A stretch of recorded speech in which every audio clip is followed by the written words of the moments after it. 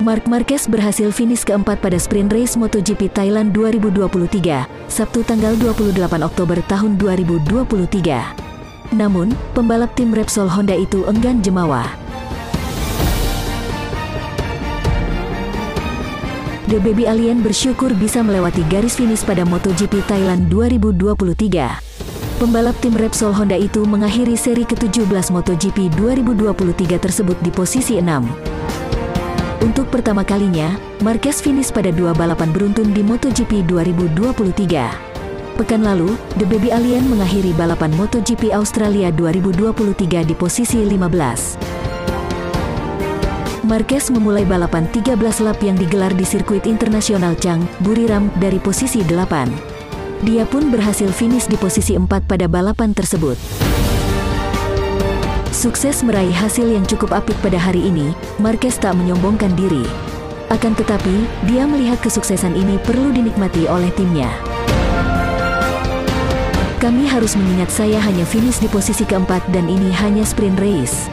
Akan tetapi, seperti apa yang sudah saya katakan sebelumnya, kami bisa menikmati sorotan kepada tim ini, tutur Mark Marquez.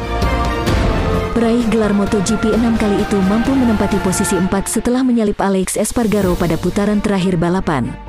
Dia pun sukses membawa pulang enam poin dari sprint race kali ini. Itu adalah putaran terakhir yang sangat baik, tetapi saya bisa melakukan itu karena kesalahan dari Alex Espargaro, kata Marquez. Dia mampu unggul sekitar satu detik di depan saya sebelum kehilangan posisinya. Dia melakukan kesalahan besar di tikungan satu dan kemudian di tikungan tiga.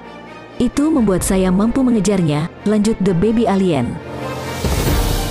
Pembalap Repsol Honda itu juga untuk kedua kalinya bisa finish pada sprint race dan balapan di sirkuit yang sama.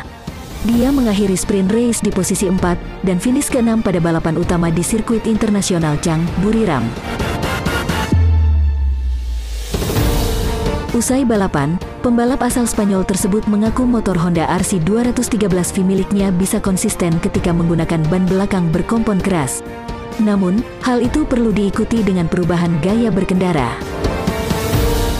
Sama seperti akhir pekan biasanya, motor yang saya tunggangi lebih konsisten dengan menggunakan ban keras di belakang, tetapi saya cukup kesulitan pada balapan utama, kata Marquez.